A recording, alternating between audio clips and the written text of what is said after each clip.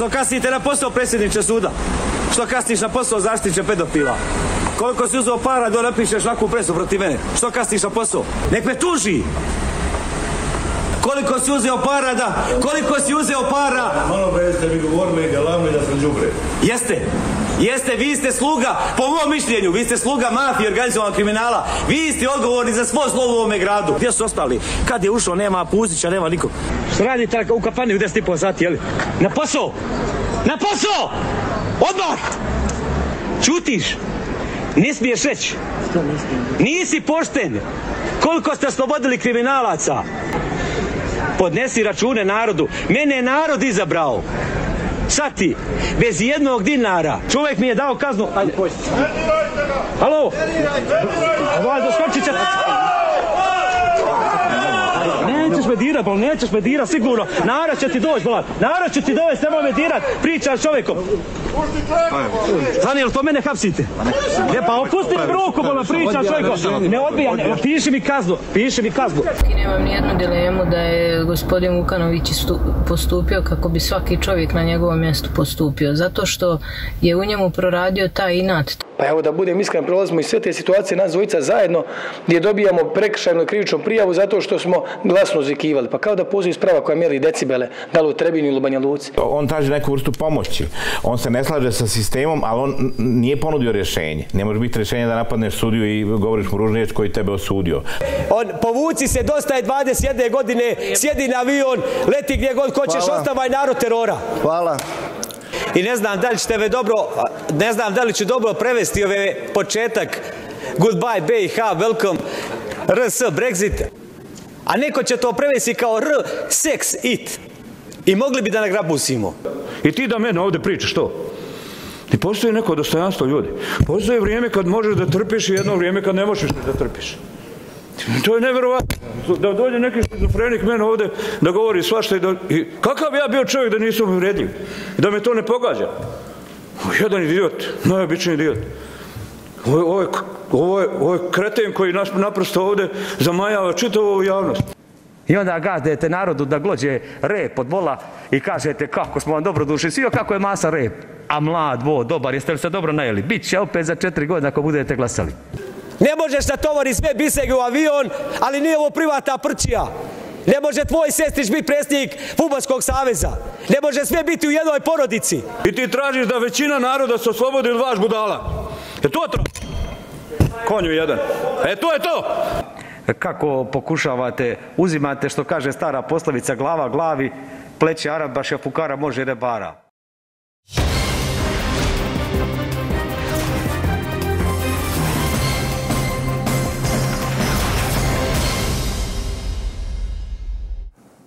David protiv Golijata ili Kočićev David Štrbac, buntovnik, borac protiv sistema i režima.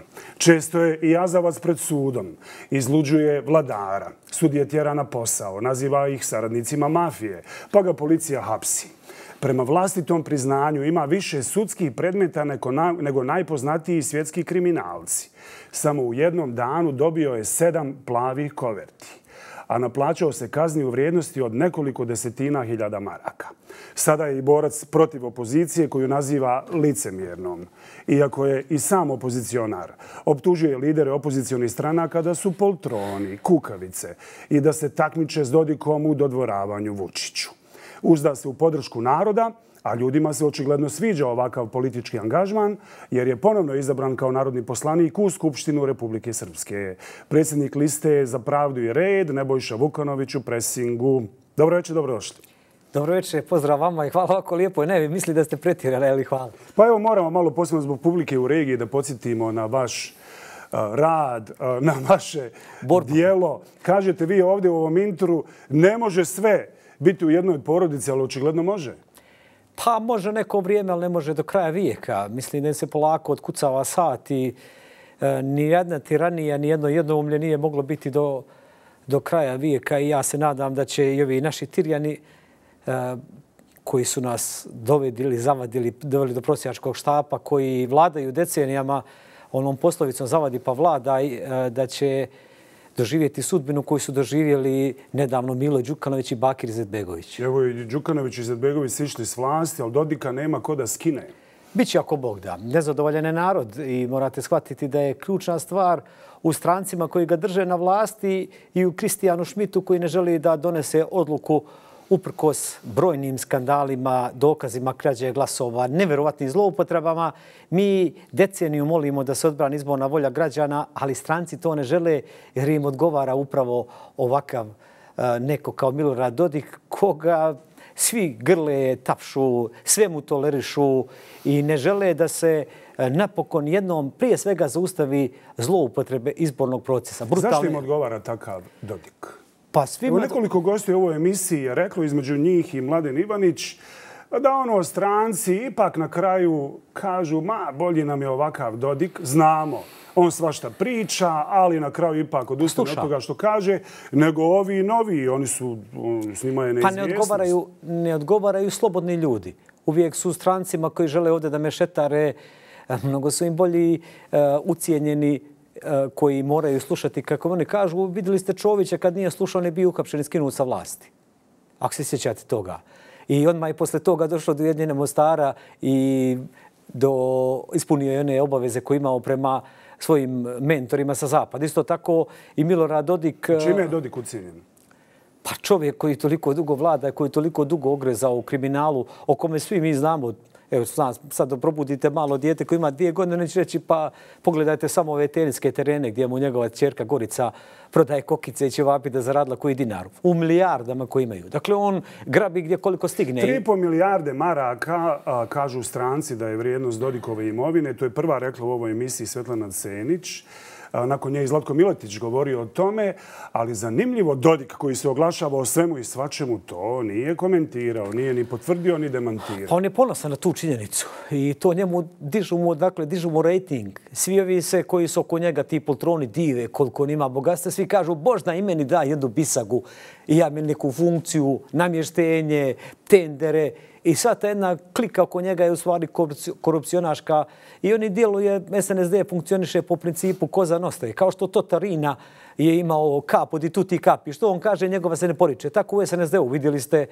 pa u neke, svega jednom bio pokušaj nekog Uh, Eh, otpora u SNSD-u da ne glasaju za Nešća, za ministra bezbjednosti. Onda je došao tu istočno Sarajevo, postrojio Ćosića i ovi ostale koji su glumili disidente i učutali su nakon 24 sata. Zato što nam je zaključio apartmene na Jahor, rekao sve što otet ne budeš i slušao i glasao. Tako da on jednostavno vlada kao što uređen SNSD kao sve ostale mafijaške organizacije. On je neosporan, vlada unutar porodice, pa njegove sestriće na čelu Futbolskog saveza, Njegov sin Igor je bio na čelu Košarkaškog savjeza i Igo Keje. On je konsultant u ovoj pro, pro, e, Prointeru. Njegova čerka ima neki treći biznis.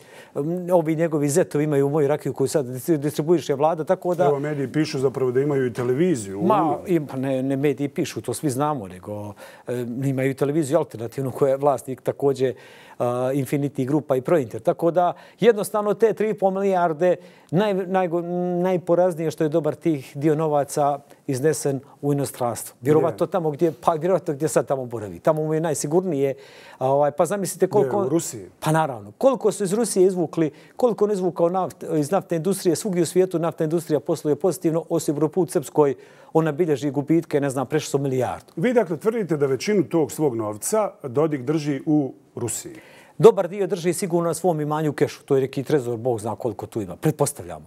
Dakle, ima dio u nekretinama koji su nenormalne. Po Hrvatskoj obali kod nas on kupuje sve živo. Dakle, ko zna koliko on ima, ste stacu Đukanoć imao 200 nešto stanova. Bog zna koliko njegova porodica ima stanova. Dobar dio ima u Srbiji, a vjerovatno najveći dio ima po nekim offshore kompanijama. On se krije za ovih. Ja vjerujem da je dobar dio novaca opravo zadužujući Republiku Srpsku, jer nikad nismo dobili iz Londona odgovor a sad nam dolaze naplo 350 miliona iz Beča, ko je kupio obveznice Republike Srpske? Tajan. To bož ga zapad i stranci ruše, a onda mu da MMF kredit, pa mu da Svjetska banka kredit, pa EBRD kredit, pa kupuju obveznice uh, na netransparentan način. I niko to ne istražuje. Nema Dodika ni u jednoj optužnici. A evo rekao u najavi, vi imate optužnica više nego najtraženiji svjetski kriminal. Preko 50 sudskih procesa sam do sad imao, izgubio sam pravo snažno preko 70.000. I da kucnem, uz pomoć YouTube-a i sajta, evo, hvala Google i plata i kredita, oni kredit banke, Pa Možete za rada pratite sve te kazne. Pa i vidite, ja sam sad, kad smo ušli sa slušenom parlament, ja sam sad jak, kao, kao, ima, mogu imati protivnik, imam kao Rusija i mogu izdržati front piši nego Rusija. Sad je to nezaustavljivo. Ušao sam u skupštinu i mi smo dosta ušli partizanski. Najponosniji sam činjenicu da imamo klub, a naša investicija u izbore je bila nula. SNSD milijon i 300, Ujedina Srpska pola miliona, PDP 700 hiljada, mi nula. Dakle, bez marketinga, samo s YouTube-om i direktni razgovor s narodom. Bez jednog plakata, s malo flajera. 30 kusur hiljada glasova smo odbranili koliko sam pokrili pitanje. Ali evo sad ste sami protiv svih. Godinama ste protiv Dodika, ali evo u posljednje vrijeme i protiv opozicije. Opozicije, ako ste i sami. Pa dugo mi... Opozicionar, zanimljivo je da je predstojeći miting koji organizira Vučićev SNS u Srbiji zapravo ujedinio i vlast i opoziciju iz Republike Srpske. Svi idu, šta idu, utrkuju se u tome da daju podršku Vučiću. Već su najavili i pozvali zapravo svoje članstvo da odu u Beograd na skup podrške Vučićevoj vlasti. Osim lidera SNSD-a Milorada Dodika i predsjednik PDP-a Branislav Borenović, vede predsjednik SDS-a Milan Milićević i osnivačica nove stranke Narodnog fronta Jelena Trivić. Samo vi ne idete. Zašto? Pa biti slobodan je neprocjenjivo. To je meni gospodin Vučić nekad nešto valjao i da je meni pravio neku infrastrukturu, da si imao medijsku, novčanu i bilo neku drugu podršku. Nema tu u, politici, nema besplatnog ručka. Što će reći da je svima ovima Vučić valjao? Pa ili ga se plaše ili im je valjao. Gospodin Trivić je napravio stranku i to preko povezanih lica. Ovim ostalim, dakle, vi morate, bit ću vrlo otvoren, vi imate stranke koje su lidere stranaka malih. Recimo, Vulin kontroliše apsolutno selak, on, on to i ne krije. Ovaj, kod Dačića ide na instrukcije Đokić. Stevandić ide u službu na Banjicu gdje sjedište bije i mnogi drugi. Dakle, vi morate shvatiti da rijetko je ko slobodan da ne zavisi od struktura i centara moći. To što smo mi napravili biti slobodan neprecjenjivo, ali vam to ona Njegoševa sirak tužni bez iđe ikoga jedna slamka među vihrove. I bukvalno e, to je to, to tako... vi kažete zato oni idu, a zašto vi ne idete? Pa zato što sam slobodan. Zašto bih ja išao? Zašto bi se miješao izbor u Srbiji? Vi znate da sam... ste se miješali izbore u Crnoj Gori? Pa to je drugo pitanje, što zato što je, reći ću vam to vrlo prosto, iz SNSD iz Trebinja svi su odlazili na obuku u Podgoricu kod Mila Đukanovića, kapilarni glasovi, ta kapilarna korupcija, zloupotrebe. Kad je to bilo? Pa još dok ih NDI obučavao još 2005-a, 6 kad su po drugi put dolaze na vlast, kada je Dodik odlazi u Crnu Goru i ubeđivo Srbe da glasaju za nezavisnost, da je to dobro. Dobro, ali okrenuo se posle Dodik e, pa, protiv Đukanovića. To je se vama samo čivi prividno. Ja sam još 2014. ili 15. objavio tekst Balkanski triumvirat na koji sam jako ponosan, koji govori upravo o sličnostima vladavine Vučić, Dodik, Đukanović, da imaju braću uspješnu firme povezane, sličan način vladanja kapilarnih glasovima, da se ne vraćamo na to. Dakle, u Crnoj Gori je bilo uh, nacionalno pitanje jer je Milo Đukanović vladao dividete timpera, zavadi pa vladaj. On je tamo išao da udaruje baš na, na nešto, nešto ne smije udariti, na ljudsko dostojanstvo i na crkvu i to je nešto ja nisam nacionalista, ali sam srbin i patriota koji nikog ne mrzi. Litijom, evo kažete, Absolutno. nećete da se miješate u izbori u Srbiji, a umiješali ste se u izbore u Crnoj Gori, dali direktnu javnu jako u Milatoviću. podršku Milatoviću. Apsolutno je bio jedini. A svi ostali, SNSD, i SNS i svi drugi su podržavali Andriju Mandića. I tu sam štrčao mimo sve ostale. Jedini sam koji sam rekao da je protiv ovoga spravnog sporazuma ponižavajućeg Evrope koji se zove, ne znam, njemačko-francuski, koji se ponižava Srbija jer smatram da je to u najmanju ruku nekorektno. Vidite u Ukrajinu i Evropa ide i ušalje oružje Ukrajinu da bi se branio teritorijalni integritet, a ovamo tjerate Srbiju da potpiše kapitulaciju i da se odrekne svoje postojbine. To je licemjerstvo koje pokazuje međunarodna zajednica. Ali ja sam to svoju slobodu možda najbolje pokazao u skupštini kad smo trebali imati sastanak sa ambasadorom OSCE s nekom stranom delegacijom. Od 9 do 9,5 su bili vladajuća koalicija, 9,5 do 10 smo trebali mi iz opozicije, tri kluba. I oni su kasnili 20 minuta, su upana sastanak rekao kako je ovo način? Kasnite 20 minuta, nisam ja kjer vani svezan. To što ste vi stranac i ambasador, ne daje vam pravo da se nama obhodite s nepoštovanjem. Odmah je prekinut sastanak. Ja sam rekao, sastanka neće biti. I morate se naučiti poštovanju. I onda su oni molili, molili. Rekao sam, ne, to vam pokazuje slobodu. I od stranih centara moći, i od tajkuna, i od regionalnih centara moći, od crkvenih organizacija. Ja sam pisao pismo patrijarhu i ovom i onom. Vrlo ga što kritikovao. Patrijarh podržava Vučića. Pa, nažalost, moram to reći. Pa, nažalost, i to nije zanađenje. Ali moram reći još jednu stvar. Ja sam pisao pismo Patrijarku i prethodnom. U Srbiji javnost je oduševljena ponašanje gospodina Grigorija Durića, vladike Njemačkog. Ali vi morate sveti da je gospodin Durić dočekivao u Mostaru i kucao jaje za Vaskar sa Vučićem i da je taj gospodin meni uzeo 17.800 maraka u sporovima koje je vodio po meni išao da me uništi beskrupulozno. Čak je slao ljudi kući da mi pokonjem ocu snim, uh, plijene stvari pokući za neku presu do 8.700 u kojoj nisam bio radi intervju, koji sam radio sa Aligićem zbog pitanja koje cijene sugestivnim. Tako da javnost u Srbiji mora dobro da pogleda kakva je prošlost Grigorija Durića, vladike koji je također bio dobar s Vučićem. Tek kad je dobio crveni kartu i otišao u Njemačku, onda je to boš postao disident. A nije ali, baš tako. Evo u ovoj emisiji je govorio protiv Vučića. Prije nego što je otišao u Njemačku. Pa već je to bilo, već je to bilo otkucanje. Šta, već je bilo spremno? Pa već je to bilo spremno. Ne bio spremno. Prije toga je dočekivao Vučića, je bio vrlo blagonaklon u Mostaru. Ali da ne idem u tome, dakle, meni je žao. Uvijek kritikujem, uvijek kritikujem svakog crkvenog velikodostojnika koji na bilo koji način se miješa u politička zbivanja. Crkva sada... mora biti odvojena od države. I fratri, biskupi i hođe. Ali ovdje u Bosni i Hercegovini eh, katolička crkva drži HDZ, pravoslavna crkva drži SNSD, a islamska zajednica drži SDA. Nedavno sam također rekao, ne može vladika koji me eh, tapšao po ramenu, da znate, Sergij, kroz što sam ja prolazio, tapše me po ramenu i kaže čuvaj glavu Vukanović. On fijaški pozdrav od, od vladike Sergija govori, meni prijetiš, kao svašta pišem. Taj čovjek daje ti guilty koji je suđivan orden, pravosnažno suđivan. U firmi koju on suvlasni, kort marketima, nađeno 70 kg kokaina, niko nije odgovarao. Vas su, eto, to, dok ste bili novinar, tužili, pa i imate i presude istog perioda, ali evo, prije neki dan su vas napali iz BH novinara zbog vašeg napada zapravo na novinarku iz Trebinja Milanku Kovačević e, i optužili vas da ste u stilu vladajućeg SNSD-a brutalno napali i novinarku i njen portal. Vaš postupak su BH novinar nazvali brutalnim pokušajem ograničavanja, citiram to, prava na slobodu izražavanja sadržaja portala Direkt i lični obračun sa novinarkom Kovačević koja prevazilazi norme pristojnog i demokratskog komuniciranja u javnom prostoru, da to ima elemente verbalnog nasilja prema njoj zato što je žena. Zašto joj se ne izvinite? Prvo nema se razloga izviniti. Sve što sam napisao istina.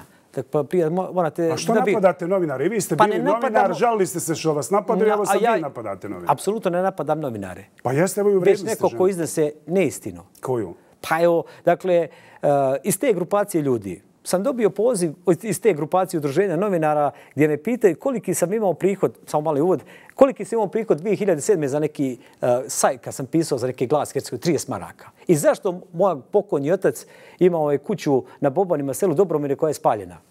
Ne vrijedi ništa na četiri brata. I kaže, zašto niste prijavili tu imovinu? Sad će oni istražiti napisati tekst. Rekao, okej, okay, nisam želio da prijavim. Mislim, sad ja sam čist kao suza.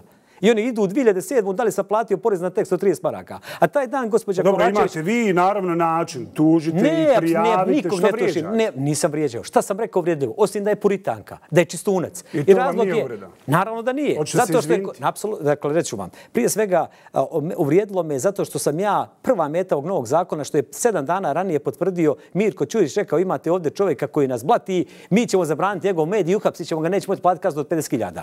Ovaj zakon je protiv mene branim novinare, odlazim na javnu raspravu o zakonu. I ona kaže, mi došli ne, nepozvani na javnu raspravu da politizujemo skup. Ne možete vi tražiti od medija da objave nešto što ne, što, Ništa što nismo objavili. Nismo ništa pa objavili. Nemate, nemate, ne možete se tako ponašati. Ja vam govorim Prema objektivno činjenicama. da budete drugčiji od Dodika, a ponašate se isto. Ja trpim kritike i, i jedino ne mogu da podnesem kad je neko rekao, kad je ona napisala tekst, to me uvrijedilo. Lako je poslanicima da plaćaju kazne. A morate shvatiti da sam ja prošao Silu i Karibdu i pakao. I zašto ne reći da oni imaju četiri puta veću platu nego ja? A baš zato morate imati razumijevanje za Pa mora imati razumijevanje za mene kroz pakao koji sam ja prošao. Evo, naveo sam primjer posle toga. Išlao sam 14. I to mi nije sad sramota reći. Ostavio posao na, poslu, na novinara, nemam platu, idem sam protiv svih. I treba da gostijem na TV ulaz 1500. Kupim po 150-50 maraka da učestujem. Ne znam kako ću se vratiti s gorivom kuće, da pukne guma, gotov sam. Prošao sam pakao. Nisam u trenutku mogao kupiti ocu tablete. Bio sam u makazama, dužan 30.000. Niko mi nije pomogao. Izborio sam se sam. I onda mi neko kaže, lako je tebi plaćati kazne. Nek gospođa plati 75.000 koliko sam ja platio, bez ičije podrške. Pa nek mi onda drži slovo. I to me jako povrijedilo. Zato što sam ja meta zakona. Borim se za novinare. Mirko Ćurić prijeti i SNSD da će progoniti i govoriti šta se smije objaviti. I to nije problem. Nije problem SNSD koji glasa, koji ne dolazi na javnu raspravu, nego mi koji podržavamo novinare. I kaže, oni politizuju skup. Vrijeđate me. Dobro, jer sam nemojte ja meta. vrijeđati dalje novinari. Ništa nije uvredljivo reći neko da je puritanka i čustilac. Saveznici u toj borbi za pravdu i red. Da se vratimo konačno ovim protestima u Beogradu. Zašto opozicija ide da podrži Vučića, a prethodno nije podržala građanske proteste u Srbiji? Ja sam tu trudim biti jako principijelan jer je prethodna opozicija, da neko ne shvati koja je sad opozicija, ona je prije toga savršena. Svi lideri opozicije uglavnom. I Đilas, Jerinić, svi su dolazili Tadić, kod Dodika, držali zajedničke skupove. Sjetite se kakva je to bila saradnja. Gazili su nas opoziciju. Očekivali smo da će kad Vučić dođe biti drugačije. Međutim, nastalo se isto. Svaka vlast sarađuje, svi gaze opoziciju. I ne pada mi na pamet, mogu podržati narod, ali opoziciju ne. Sa druge strane, sam principijalan kad išla Jelena da glasa, Ovo kažu, Stevandić, građanski su protesti. apsolutno. I nemam A ništa zašto i protiv vi njih. niste podržali? Vi koji stalno A govorite da ste uz A građanske ljudi, ja nisam podržao ni na, na Vladivostoku proteste protiv skopavanja ruda. Ja imam hiljadu i jedan front i vi ih hoćete kako nemate hiljadu i treći. Previše je daleko Beograd od nas. Ja imam na lećima toliko frontova. Ovaj moj principijalan stav koji bi im napravi velike probleme, jer jedini štrčim protiv Vučića. Principijalnim stavom da ne želim da se miješam. Ljudi koji žive u Beogradu da biraju vlast, a koji žive u Trebinju da biraju vlast. A ne da nam dolaze glasači iz Bajne bašte glasaju u Srebrenici i Bratuncu iz Vorniku, a iz Vornika idu u mali Zvornik. I da imate vječitu saradnju vlasti koja ne omogućava promjene u ovome regionu.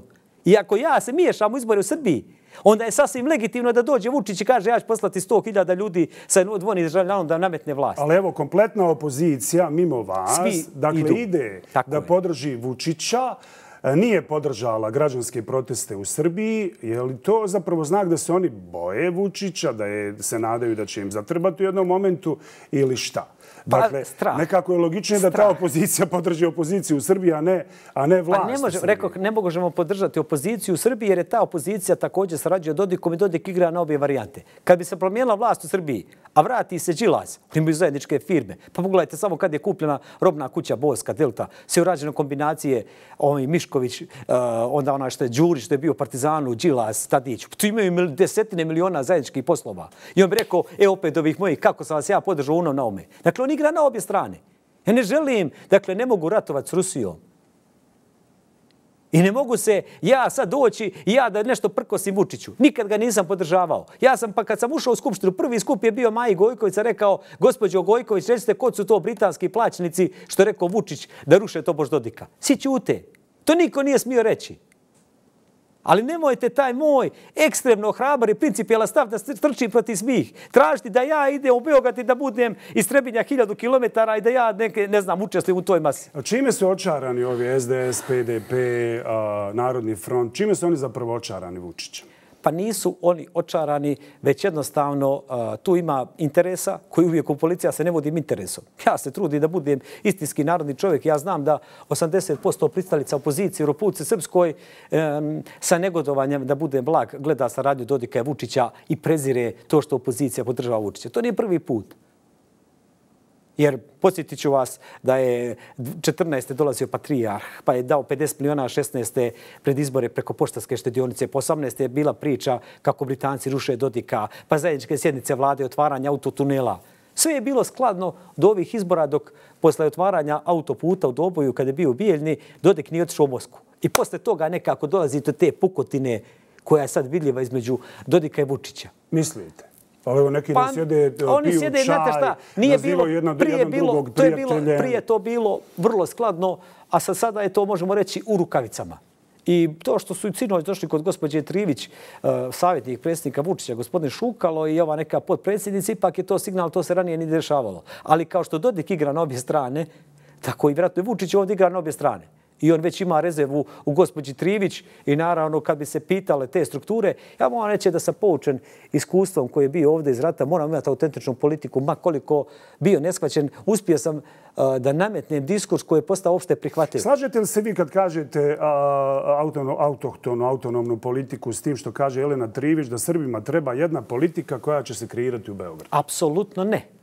Onda ne trebamo ovdje, ga gospođa Trivić treba da osnije SNS Republika Srpska, ko što je nekad bilo, ne znam, šešelj radikali i da to bude, nima jedno otačiv iskustvo, da sve odlučuje. Dakle, ja sam Ko finansira ovaj politički projekat Jelene Trivić? Pa prema mojim seznanjima to finansira gospodin Slijepčević iz Gatska biznisa, vlasnik, vlasnik kompanije GAT, koji inače porijeklom iz Gatska i koji je vrlo blizak gospođi Triviću. Tu je jedan po, vrlo, vrlo, mogu slobodno reći, jedan pozamašna svota koja je tu ovaj, uložena. Kakvi su interesi, ne znam, ali u policiji nema besplatnog ručka. Nažalost, ona je, ja neću da je puno kritikujem, iako je nekad zaslužila, ali izgubila je sebe nije više ona tri, Jelena koja je bila nekada principijelna, karakterna, koja kaže neću papke, neću pare. Sad ona prizna da ima sponzore, a nema besplatnog ručka. Sad to moraju ljudi cijeniti. Ko su sponzori?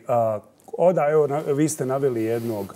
Otkud pare Jeleni Trivić za ovaj politički projekat? Pa evo vidimo za dosta preletača zapravo iz drugih stranaka pa, u, u njenu novu stranu. Ja nisam ministar policije pa da ja mogu dotknuti. To moraju biti transparentni podaci. Vidjeli ste juče, mislim, jako mi je krivo, to je baš povjedlo. I ovaj, ja sam kinuo za gospođu Trivić. I on nisam nikad prije govorio o emisiji, ali uh, gospođu Trivić, njeno pravo lice, se upoznao još prije kampanje i mnogi ljudi ne znaju, ali baš sam mnogo toga prošao, poniženja. Dakle, mene gledaju kao neki, ja dolazim iz provincije za njih, iz Trebinja.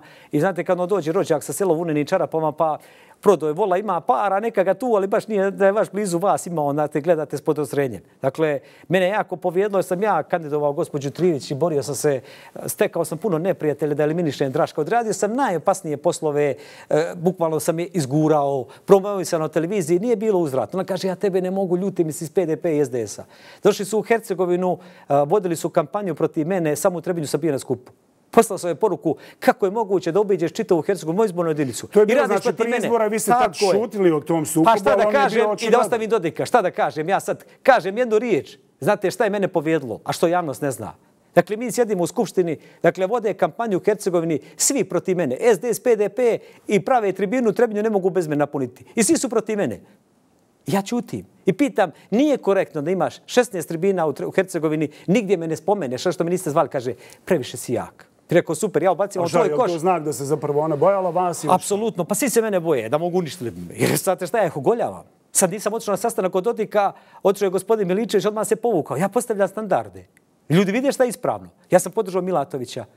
Ljudi vide da je to ispravno. Zašto vi mislite politike... da je taj vaš stav jedino ispravan i zašto Nije jedino ispravan, ja nisam papa. Mislite da su svi ovi iz opozicije zapravo ne, kukavice, ne, poltroni? Ne, ne, ja sam to govorio. Tako kažete. Pa sam, to sam rekao Pročio za gospođu Trivić. sam dosta objava po mrežama. Pa op, to sam obično napisao za gospođu Trivić jer ono njeno poltronisanje, gospodine Vučiću, za mene moram reći, nedostojno neko koje je trebao biti i morati imati bar stavi karakter. A ko ne radi šta hoće.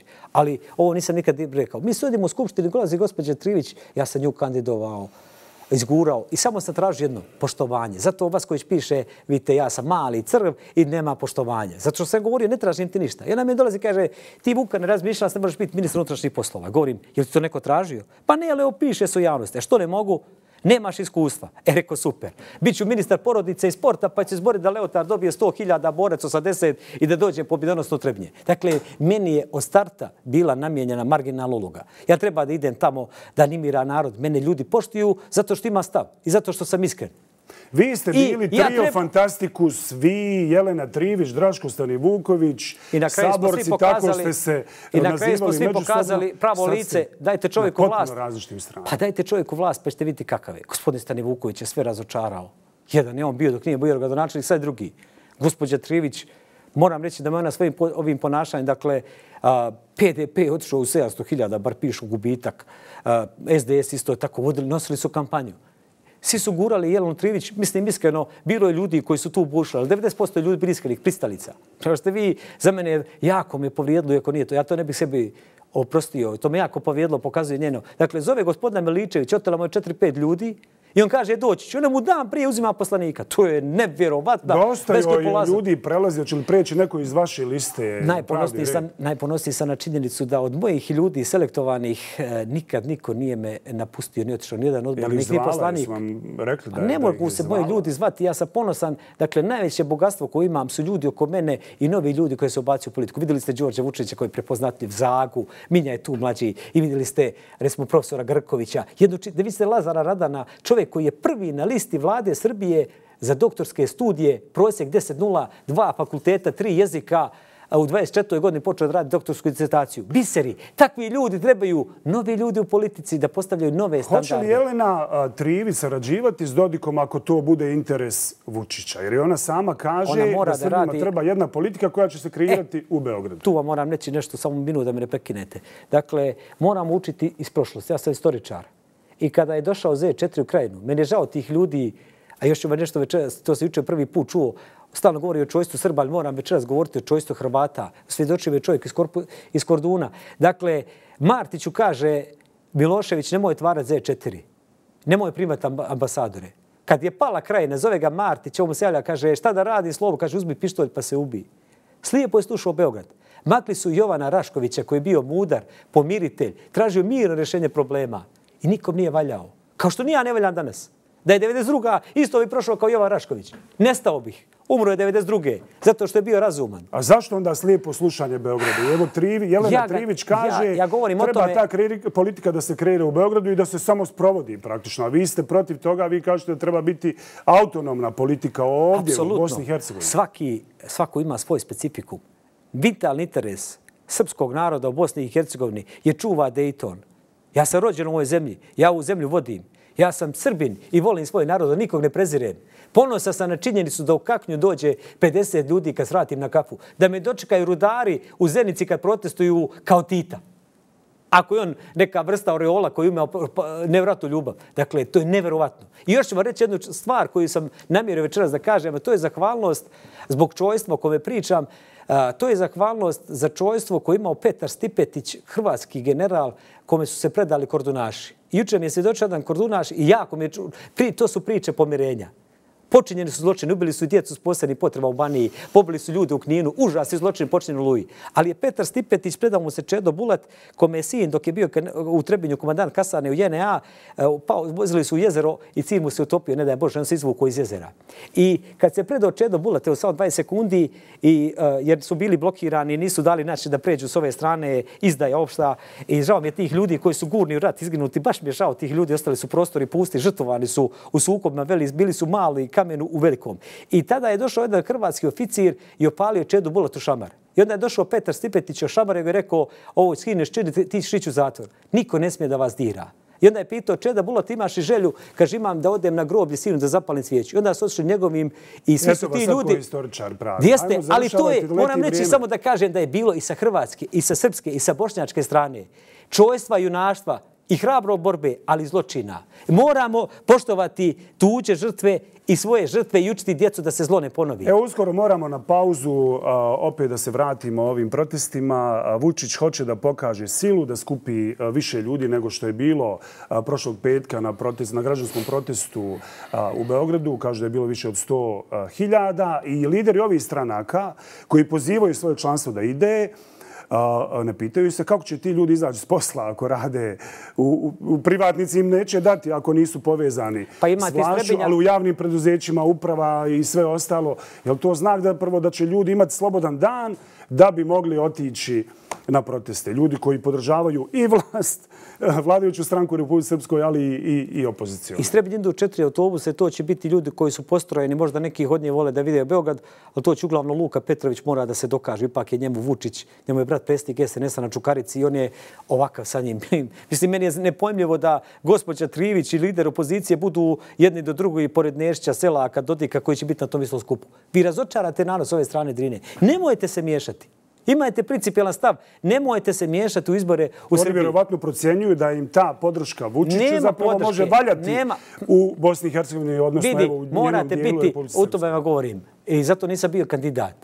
Ako niste dio nekih, ja nemam zalećinu, nemam strance za sebe, nemam neke sveštenstvo, nemam tajkune, nemam krupni kapital. I zato svi me na mene nasuđu, kaže, zgazit ćemo ga kod Srba, šta on nema nikog. Ali imate narod. Morate imati autentičnu politiku.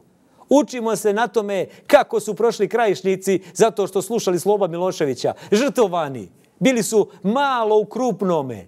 Ne smiju biti žrtovani. Srbi u Bosni i Hercegovini biti žrtovani od, od Beograda ako ne budu imali svoju Ne politiku. mislim da je to sad cilj vlasti u Srbiji, da me neko pogrešno ne shvati. Ali moramo imati autentičnu politiku. Odličnu saradnju mora imati Republika Srpska i Srbija. To je prirodno. Ali mi imamo ovdje imamo svoj specifikum. Moramo izgraditi normalne odnose. Jedini način da ovaj region opstane, da ljudi ne bježe. Pusti su na krajevi. Jedan zanimljiv podatak. 88.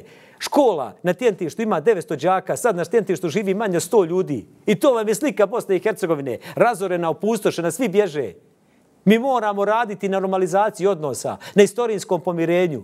Učiti djecu da obilaze sva stratišta i da kažu ovo ne smije da se ponovi. Živimo normalno, okrenimo se ekonomskim pitanjima, sarađujmo. Dobro, a ne moramo- stalno praviti tenzije i, i vidite da ovi dolaze iz SNSD-a, traže obezbeđenje, dođu u Sarajevo.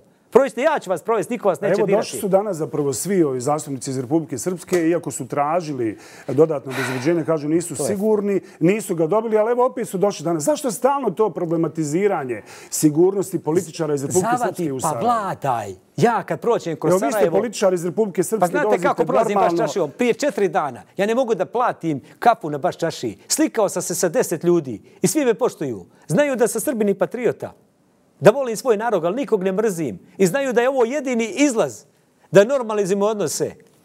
Da se ne ponove stvari iz prošlosti. Da živimo normalno. A ne da stalno sad antagonizam, da ne bi pričalo o ekonomskoj prošla, propasti, kolapsu Republike Srpske, pljački, nenormalnih razmjera. Javnost u Srbiji da zna, prodali su, uzeli su sad stotine miliona su uh, uh, izgubili kroz spo, samo u elektroprivredi. Mafijaškim poslovima Luke Petrovića. Ovako, ovo nema na Siciliji. Ovakav kriminal. Dobro, moramo na pauzu, vraćamo se brzo sa ovim i drugim temama.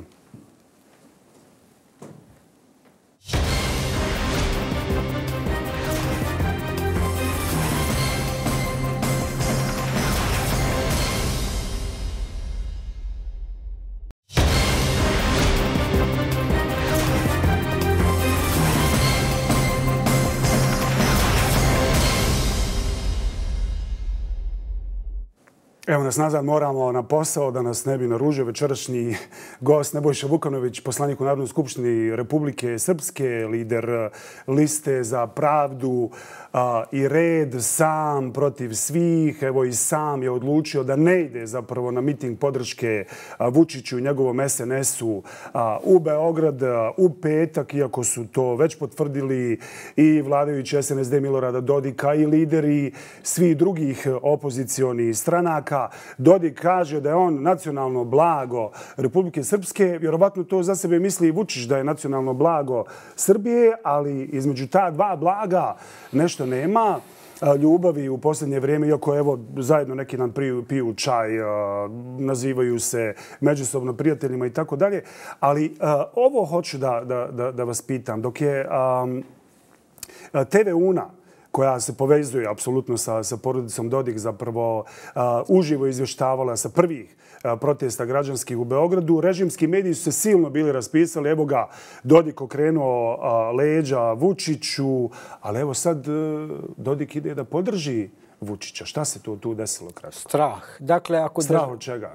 Pa da Vučić hoće da uništi Dodika 10 dana. Ne bi mu trebalo više.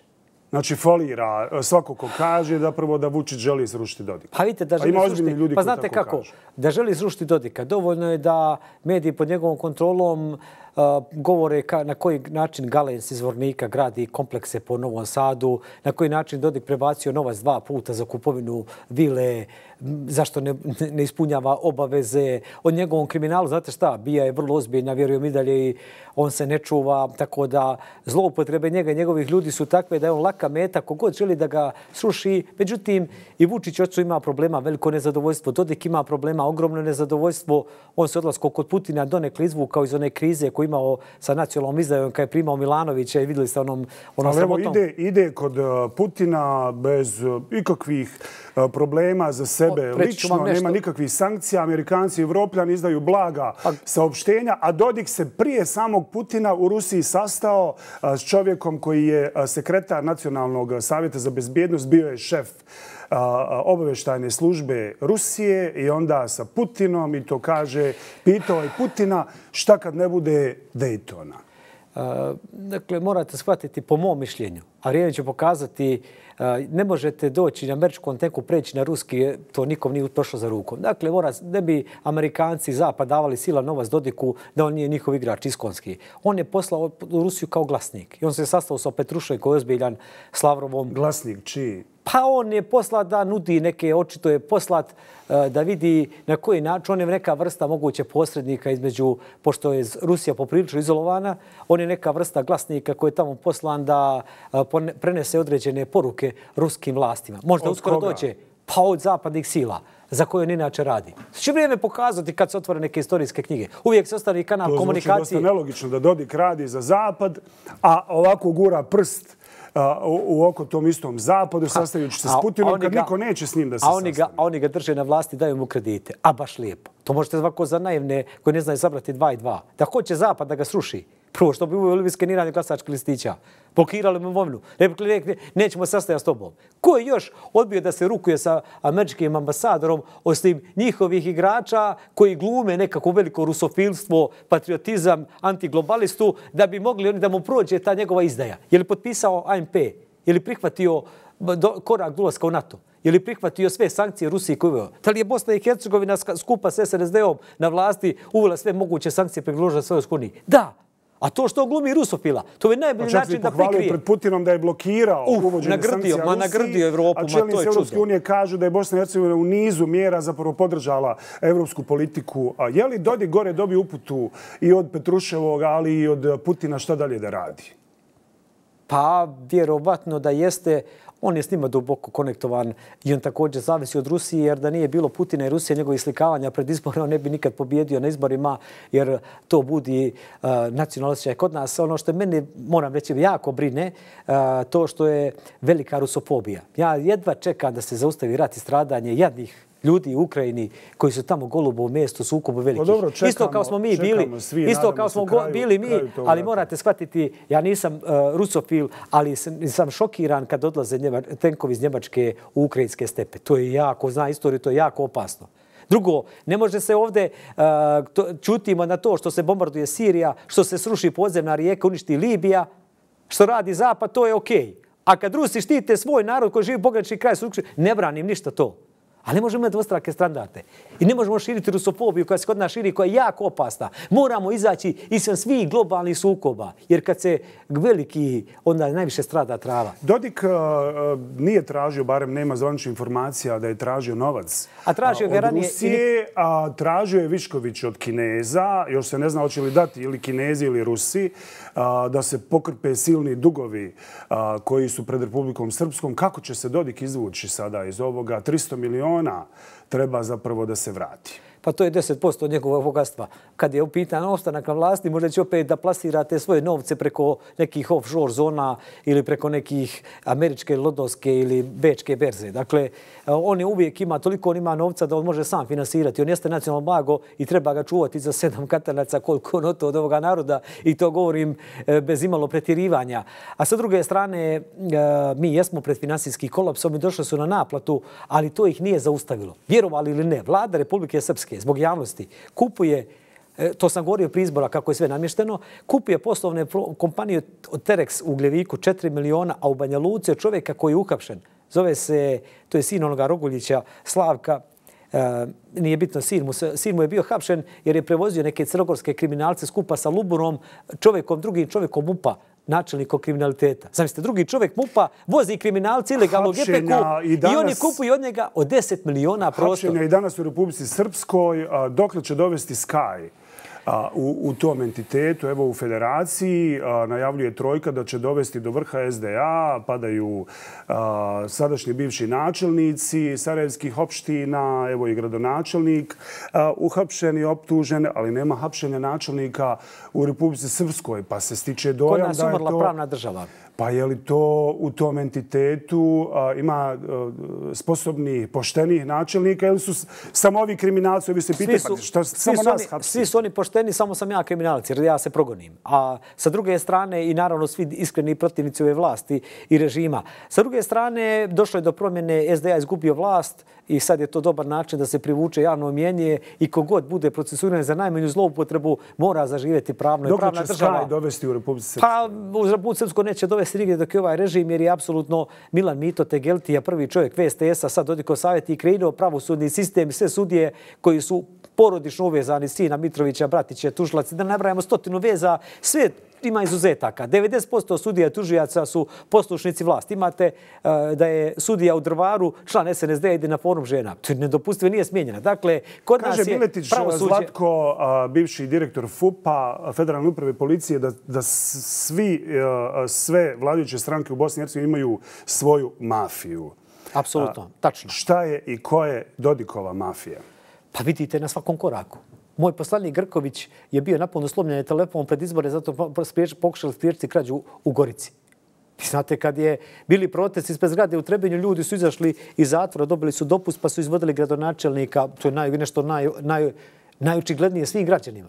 Problem je što to narod prihvata. Što smo mi toliko razvrljeno društvo da, nam je, da su nam te stvari postale prirodne i normalne. Ovde je mafija postala obrazac ponašanja. Svaka stranka funkcioniše kao mafijaška organizacija. Izlače se novci koliko im hoće. Niko ni zašto ne odgovara. U Trebinju direktor Agarnog fonda, njegov brat, osnovo firmu. Prvi dan ne kupio od njega namještaj. Direktnom pogodbom. Pa to, je, pa to nema u, u Novu Papu u Novoj Gvineji. bije bezbjednostno informativne agencije Srbije a, na zbivanju u Bosni i Hercegovini, posebno a, u, u, u dijelu ove zemlje koje se zove Republika Srpska? Pa uloga Hrvatske obaveštajne službe i bije je velika kao i drugih obaveštajnih zemalja.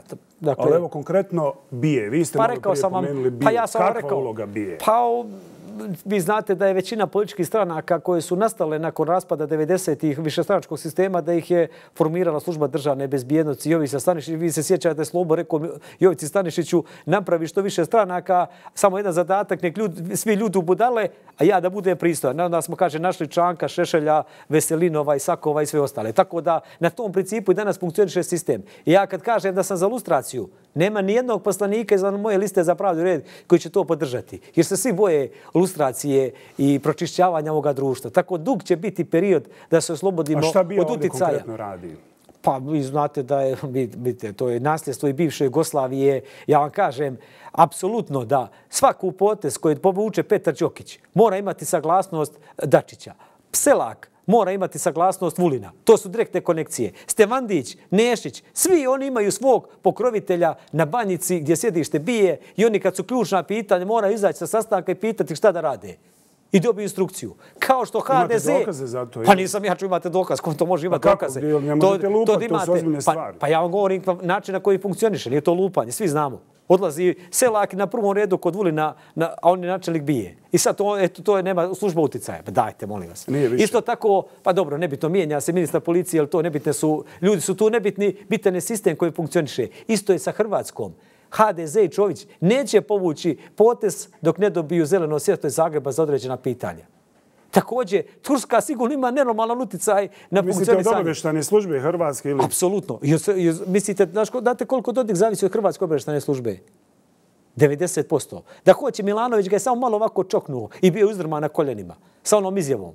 Kada bi Milanović progovorio i Hrvatska obeštana služba, ali Dodik treba radi za hrvatske interese boriti se za treći entitet. To ste već nekoliko puta govorili. Apsolutno, i to je Milanović potvrdio. Da, I Milanović je to potvrdio. Da to elaboriramo, Milanović je potvrdio da ga je zvao. Zašto mislite da Dodik radi za hrvatske interese? Pa zato što ga drže možda čak i od prije rata dok je bio kod Ante Markovića, nitad se nisu pravile stranke tek slučajno. On je bio delegat kad je stvarana Hrvatsko-muslimanska vašitovski sporazum, prva Hrvatsko-muslimanska federacija, prvi poslanik na listi je bio Milorad Dodik u federaciji u ratu 94. Odlazio u Italiju sa liderima Bošnjaka, držao za tokom rata još uvijek. Znači on je ovakav. Od uvijek išao ratni šverc. Ko je mogao švercovati sa Hrvatskom gori, ostalo što je on radio preko svoje firme? Pa to mislite se moglo raditi bez Jovice Stanišiće službe državne bezbjednosti? Hajte, molim vas. Ne možete prodati kami, kamio Lubenica u ratu bez saglasnosti službe, a ne da se bavite trgovine naftom. Svi njegovi funkcioneri su baš. Ministar utrašnjih poslova Karan bio načelnik službe državne, inspektor službe državne bezbjednosti u Sarajevu. Dekan pravnog fakulteta kome je otkinuta diploma, danas poništena 8. maja, ja pisao o njemu. Također Čeranić, također bio udbaš načelnik službe državne bezbjednosti u BiH, sredo je novi sad delegat Domu naroda. Hudba mu je napravila stranku. Svi su oni odbaši, red, krenite redom. Radmanović, njegov otac, bio načelnik DBA Kotor Varoš, pa kasnije u Sarajevu. Svi redom. Može se o tome mnogo pričati. A to su vam činjenice i dokazi. Neka udba bude tema jedne to od naša, narednih To je naša sudba, ali vidite, to je, to, je naj, to je najlošija stvar koja nas drži retrogradnim i okovanim. Moramo izaći izvan okvira koji nam nameću te strukture moći koji su se obogatile. Svi tajkuni su pod okriljem udbe. Oni ne dozvoljavaju ništa normalno, jer će njihov kapital i metak doći u pitanje. Zato sam neprijatelj svima i gledaju svi da me unište. Koja služba je pustila a, snimak Dodikovog gostovanja na RTS-u? Pitam vas, zato što ste vi prvi objavili taj snimak, gdje Dodik koji je javno hvalio Đokovića i njegovu porodicu zbog e, toga što je prebacio turnir iz Beograda u Banja Luku. Na tom snimku vrlo ružno govori o Đokovićima, vrijeđa ih. Otkud vama taj snimak? Dobio sam ga od ljudi uh, iz inostranstva. I to je sve što vam mogu reći. I kad sam ga dobio, gledao sam ga dva sata dok se mi pojavio YouTube premotavao sa da li isti styling, da li sam mu usta, mi je Draško poslao snimak i imam žuti karton. On me, znate, kad mi ono Draško sam sebe snimao, poreko, vidite, ja mu pošaljem slažnog broja, pa on obio da sam bio vili, što jeste bilo tačno. I bio sam jako oprezan. A i sada sam ne smije napraviti drugi jer bi izgubio onaj ugled koji imam. A znam, ali otkud nekom u inostranstvu snimak s RTS-a, je li se mogao taj snimak pustiti ne. u javnost bez, kažem, bez znanja Vučića, ne. pa evo i bije? Apsolutno mislim da ne. Bio ne, ne, mislim, centar moći to odlučuje politika, nekom je što bio cilj da malo diskreditu i da pošalju poruku Dodiku, kojima je dotečao Beograd i bio manje od makovog zrna. I ono, znate kakav je on pred Vučićem? Evo ovakav, kao dijete kad ne sluša u drugom razredu. E, znači, ne smije A da kaže A. A onda dođe ovdje, takav je pred strancima, govori šta treba, hoćete AMP, hoćete kredit, hoćete sankcije Rusiji. Sve me samo me pustio još četiri godine. Da li sam ja vama, gospodine Zukić, ovdje govorio da će ga pustiti da u 22. do 26. uđe u NATO i da kaže to je moj kraj? Kakvi će biti sad opozicioni lideri kad budu zajedno s Dodikom u Beogradu, oće oni ovako pred Vučićem? Ja ne mogu govoriti u tuđe ime, ja ne idem jer sam slobodan i to je neprocijenjivo bogatstvo. I to se sad napokon vidi. Iako kad sam, to je meni najvažnija stvar. Mene ne interesuje nikakva funkcija. Ja kad prođem kroz narod, mene dočekaju bolje od bilo kakvog predsjednika i sad se napokon pokazalo da sam istinski slobodan s jednom e, ekipom časnih i čistih ljudi. I koliko god pretresali, ne mogu ništa da nas nađu. I to je nešto na što sam ponosan. Svako se, nosi svoj krst. Da se vratim na samom kraju emisije na ono što sam već pitao, ali nisam dobio jasan odgovor. Ko će sada od vas opozicionara rušiti Dodika kad ste vi srušeni kao opozicija? Do prije svega nekoliko mjeseci vi, Draško Stani Vuković, Jelena Trivić, bili ste trio, saborci, sad ste na različitim stranama. Je li zapravo ovo projekat rušenja, urušavanja opozicije ili se to desilo zbog vaših sujeta ili bilo čega drugog? O svojim sujetama ja nisam savršen i kao ni sam papa i puno griješim, ali sam se čita život podvlačio zbog opšte stvari. I nisam dobio nikad ništa. Nisam čak kao poslanik sa svojim klubom što mi pripada dobio neki odbor da rukovodim sa četvro ljudi. Niko mi to nije dao. Dobro, ko će srušiti Dodika? Srušit će ga narod jer je 70% ljudi nezadovoljno. Vi sada prođete Banja Lukom, prođite neka sa mnom, dajte skup ja i on. Idite koliko će ljudi privući. Narod je nezadovoljan. I me ja sam, dakle, trudi se da budem što više obazriv jer su ljudi razočarani. Odmah da znate jednu stvar. Draško postaje gradonačelnik. Više nisti takav. Odlazi u Beograd, mijenja se. On je kao Miloš i Karadžorđe. Jelena se ponaša krajnje neracionalno. Meni je žao što je to uradila. Godinama govori o papcima, onda ideš i kupiš najveći šljam na političkoj sceni. I praviš klub i hoćeš da kažeš ja sam isto koji Vukan. Ne! Iza nas je ogromna razlika, to narod vidi. Tamo on ostao sam. Moramo se boriti. Moj cilj, on će pasti kad padne da imate kontrolni mehanizam da ova služba koja sve pokriva me iza, ne me eliminiše iz svega. Dobro. Imamo neverovatne neprijatelje u federaciji. Još ćemo reći od stvari. Hvala Izetbegovićeva SDA Jeste, u federaciji. ali je nekorektan Dodiko odnos. I Čovićev HDZ ali je ova osmorka, drže. osmorka je ušla u pakt sa djavolom, sa Dodikom i to će skupo koštati. Ne možete Pilatovski prati ruke. Ja sam molio gospodina Konakovića i Nikšića, nemojte mu dati četvrtog delegata, pravite vlast pa se može promijeniti, nemojte dati ludaku ključeve države. Evo, ja sam patriota. da su razočarani što se Dodik nije promijenio kako su najavljivali sam ih upozoravao. Jesam li sve bio u pravu? I znate šta sam dočekao? Ovaj moj ovakav e, ekstremni patriotizam koji nije dolazio sa ove strane. I zbog čega sam proganja da sam izdajnik, bakirovac, poturica, samo zato što sam racionalan. Oni me pljuju po ispruženoj ruci.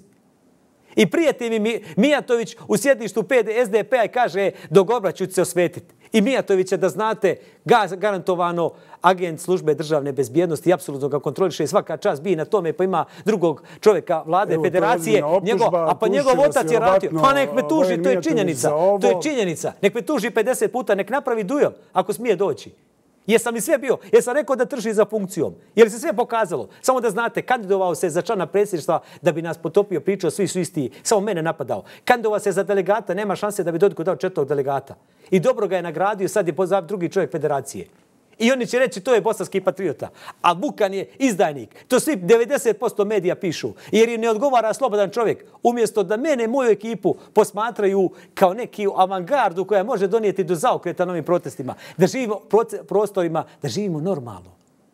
Juče sam Dobro, bio evo, za probat ćemo taj uh, duel vas i Vojna Mijatovića Vrlo organizirati. Evo, ovo je njemu ujedno i, i javni poziv. Hvala vama. Dosta još tema bismo večeras uh, mogli uh, otvoriti, ali evo, nek ostane nešto i za neki naredni put. Presing je završen. Imate nešto kratko? Juče sam upoznao doktor nauka 30 godina u Švajcarskoj, doktorirao Lozani i hoće da se vrati. Kakvih ljudi bi bisera zemlja ima? A mi ne znamo da ih cijenimo. Sve smo ratirali. Samo oslobađa, oslobađa institucija, pravna država, depolitizacija. Rad na pomirenju istinski i ovo će biti normalna zemlja. Dobro, hvala vam, Hvala hvala vam. vam poštovani gledatelji. Presing je završen. Vidimo se naredne srede.